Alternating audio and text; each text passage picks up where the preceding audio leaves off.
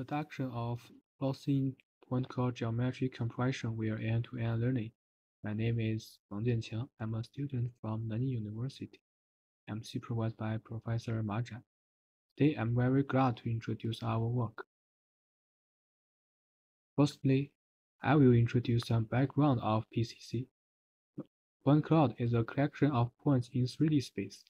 Each point has its geometric position and associated attribute. Point cloud can be used to represent 3D objects and scenes. Recently, with the growth of emerging applications of point cloud such as immersive media and autonomous driving, high-efficiency PCC technologies are highly desired. On the other hand, PC has huge amount of data and the points are unordered and unstructured, which is very difficult to process and compress. So we really demand efficient PCC methods. Existing representative PCC methods were developed by MPEG, including geometry-based PCC and video-based PCC. GPCC relies on 3D geometry models such as octree models and surface models, while VPCC relies on 2D video coding. In the octree geometry codec, PC is represented by octree decomposition in 3D space and its occupancy information are encoded. In the trisoup geometry codec, PC is represented as a series of triangle meshes, where mesh vertices are encoded. Different from GPCC, VPCC projects 3D objects into different 2D planes and leverages image codec to compress them. By far, VPCC has exhibited the state-of-the-art coding efficiency for dense point cloud. All these methods are based on traditional compression technologies.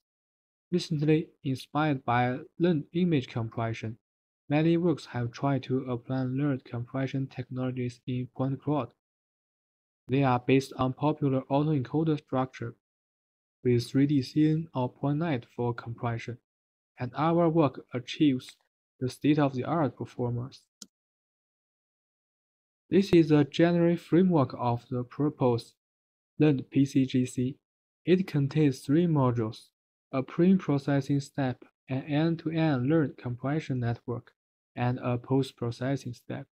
In pre-processing, raw point cloud is voxelized to volumetric model and partitioned to small cubes.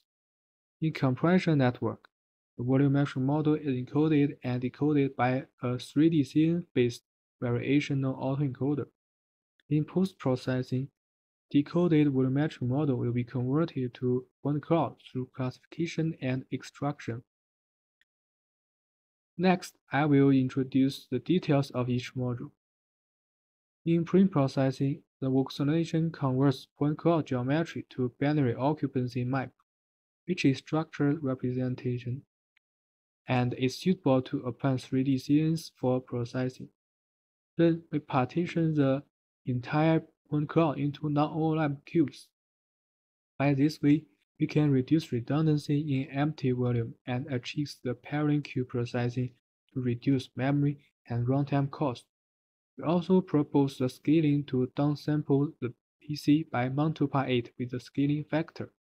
By this way, we can reduce the sparsity or directly reduce the amount of data to achieve better compression. The detail of the compression network is shown in the figure. The encoder and decoder transforms are based on stacked 3D CNNs.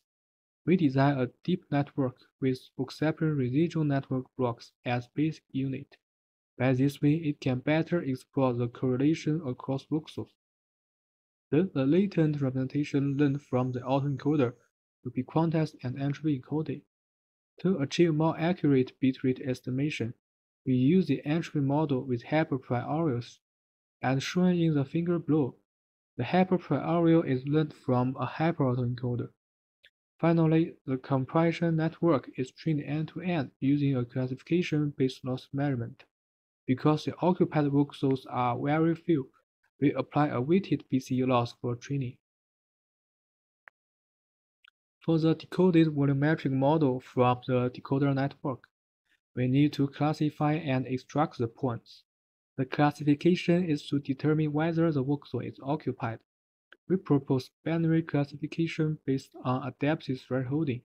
By this method, we don't set a fixed threshold but set the threshold according to the number of occupied voxels in origin point cloud. Specifically, we sort the voxel values and select the top key voxels, where k equals to the number of times a parent rho. In default, rho equals 1. After classification, the points will be extracted from the cube and be inverse scaled. Next, I will introduce the ablation studies to examine various aspects to demonstrate the proposed method. Firstly, in processing, the partition can reduce the memory and runtime cost for each cube, and according to our study, optimal cube size is 64, and the scaling can preserve quality at a low bit rate, as shown in the left RD curves.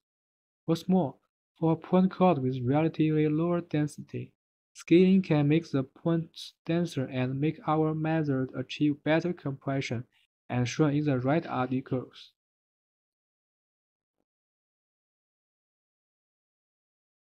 For the compression network, our experiments have also revealed that our deep network offers much better performance than a shallow network, achieves 45% BD rate gains, and the hyper priorities can improve the context modeling and further yielding additional 15% BD rate gains.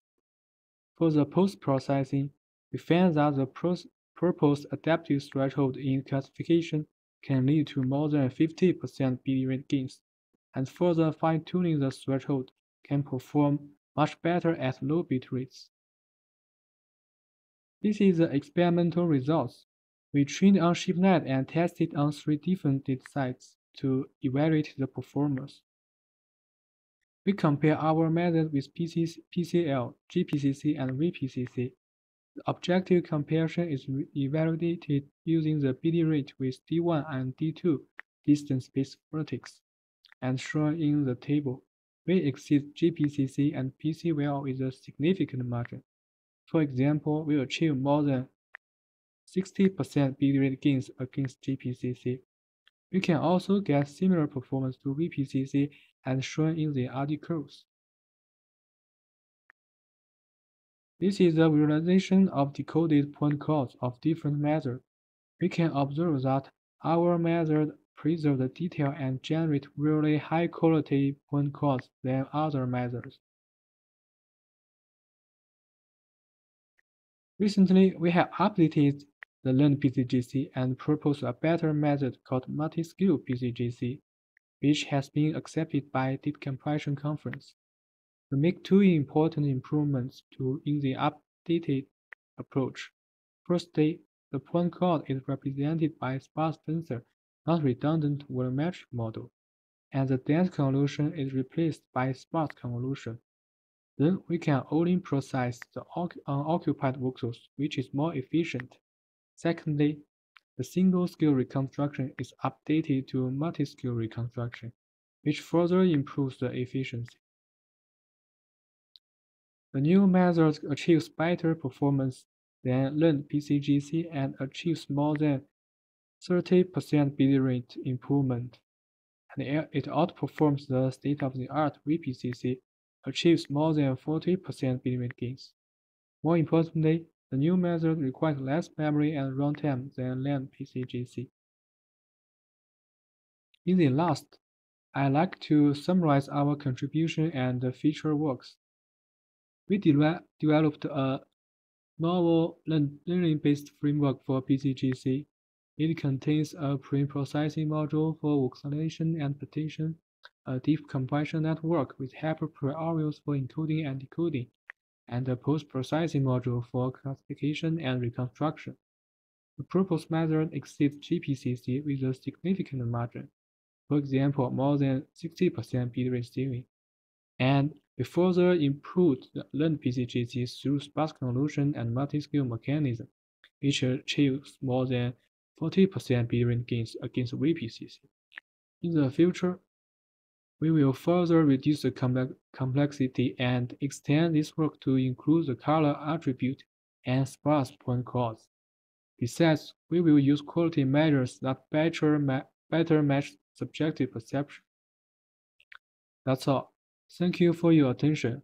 More detail can be seen on our homepage on GitHub. Thank you.